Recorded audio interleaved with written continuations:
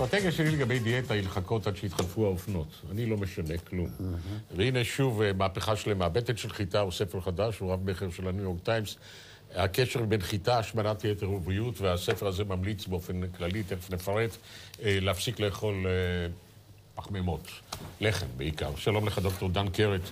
אתה רופא, MD, ונטורופט, ואתה כתבת את ההקדמה לספר הזה, אה, שכתב אותו דוקטור ויליאם דייוויס, שהוא אה, רופא לב ודיאטה. הוא קרדיולוג. אני לחצתי על הוצאת פוקוס לתרגם את הספר הזה, מפני שגם הוא חידש לי כמה דברים, ואני קורא הרבה ספרים על תזונה, אני כבר למעלה מ-20 שנה בקטע הזה, וסוף סוף ספר שבאמת הצליח לחדש לי, וכשיישמתי את ההמלצות שלו, ראיתי פשוט דברים נפלאים שלדעתי חשוב שהצופים ישמעו. מה, מה הוא חידש לך ב... אני קראתי את ההקדמה שלך, מה הוא חידש לך? אז קודם כל, אה, ממצא מפתיע שהאינדקס הגליקמי, כלומר קצב עליית הסוכר בדם, אחרי שאוכלים לחם מחיטה מלאה, שנחשב לאוכל בריא... לחם בריאות. לחם עלק בריאות, הוא גבוה.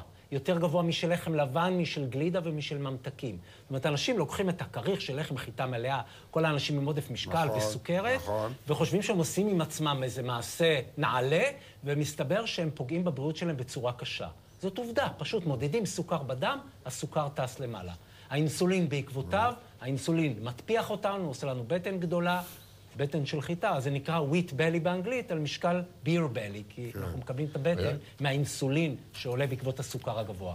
בדרך כלל מאשימים את הגלוטן, החלבון שנמצא בקמח, בכל מיני אה, אה, צרות שהוא מעולל לנו. נכון. פה, זה, פה יש, יש בעיות עם הגלוטן, אבל בואו נדבר דווקא על העמילן. עוד דבר שחידש לי, החיטה של היום זה לא החיטה שההורים שלנו אכלו. היא עברה שינוי מ-14 כרומוזומים ל-42, הכל השתנה בה. זו חיטה שנועדה גם לעמוד בתנאים יותר קשים, לתת כמות גדולה יותר פר uh, שטח, אבל שינו לגמרי את המילן. זאת השאלה בדיוק, זו הייתה התמיהה שלי. הרי החיטה זה אחד הצמחים הראשונים שבויתו על ידי אדם, בערך בחמשת אלפים לפני הספירה, אולי אפילו קודם. השאלה שרציתי לשאול אותך זה איך האבולוציה לא סידרה אותנו ככה שנתאים לחיטה או להפך. השמידה את החיטה כמאכל אדם. האבולוציה שהואצה על ידי אנשי החקלאות גרמה לכך שיש לנו עמילן שונה לחלוטין, הוא נקרא אמילופקטין A, והוא מטיס את הסוכר למעלה, וזאת הצרה. אז אם היינו חוזרים, נגיד, לביני דגן שהם מקובלים לפני 150 שנה. בצורתם הגסה, היו הרבה פחות בעיות. הקמח שלוקח גרעין והופך אותו לאבק, לטלק, גורם לכך שהאנזימים בקלות רבה מפרקים את העמילן הזה ומטיסים את הסוכר למעלה.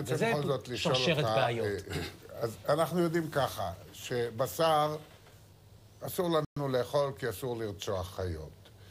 אה, חיטה עכשיו אנחנו מבינים גם קמח... רוצחת אותנו. ממיתה אותנו. לא לאכול גם כל החיטה.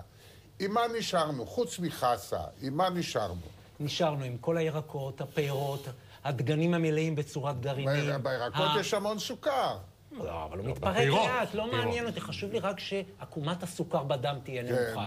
יש לנו את כל הקטניות, יש לנו אגוזים, שקדים, גרעינים. קטניות, אבל אי אפשר לאכול יותר מדי קטניות גם. פעם ביום אתה מוכן לאכול. מה עם גזי חממה? הרי אנחנו אומרים שהפרות מפליצות. אני אלמד אותך איך להכין קטניות בלי שהן גורמות לגזים. יש לך את כל האגוזים, אמרנו, השקדים, הגרעינים, ויש לך מעולם החי דברים אחרים שאפשר לאכול אותם בלי לרצוח.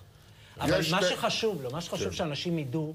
עוד דבר שלמדתי כן. שם, שיש בחיטה חומרים ממכרים. יש גלוטאו-מורפינים, גלוטן עם מורפיום. זה נקשר לרצפטורים של מורפיום, גורם לנו לרצות לאכול יותר, מגביר לנו את התיאבון, וכשרמת החיטה בדם יורדת, תשוקה עזה לפחמימות.